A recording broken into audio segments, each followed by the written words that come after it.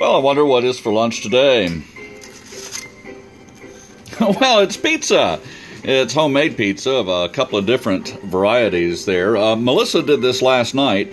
If you look closely at the crust, see how holey that is?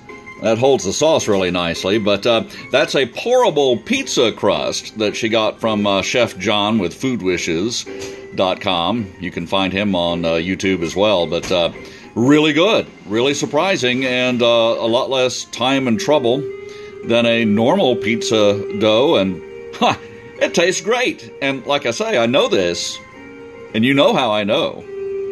I know because this is what we had for dinner last night.